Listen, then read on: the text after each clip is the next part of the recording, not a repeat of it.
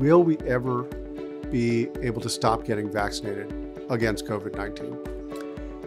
One thing that we've learned is that this virus is endemic, meaning that it circulates like all of our other respiratory viruses influenza, RSV, the common cold.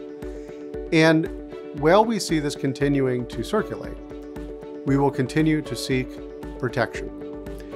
Right now, the vaccine lasts about six months, and so we like to re up or reinvigorate the immune system once a year, similar to what we do with the flu vaccine.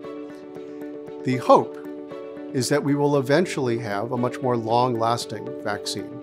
And there is a lot of research going on right now to think about targeting areas of the virus that would lead to more sustained immunity. So, for right now, this is an annual vaccine and something we will continue to get. My hope, long term, is that that will not be the case.